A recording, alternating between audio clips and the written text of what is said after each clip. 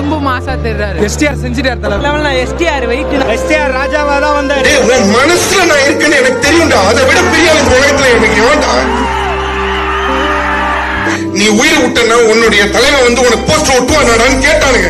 ஒட்டாண்டா ஒரு தலைவன். எனக்கு வந்து இந்த ரெண்டு வருஷம் வந்து ஒரு சாதாரண மனுஷனோட கஷ்டம் என்னவா இருக்கும்ன்றத வந்து எனக்கு